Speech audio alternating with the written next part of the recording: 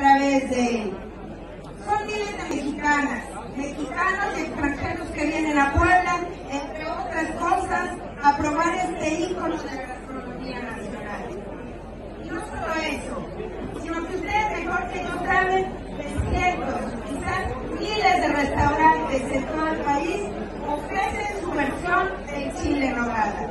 En restaurantes de Nayarit, Oaxaca, Ciudad de México o Tabasco.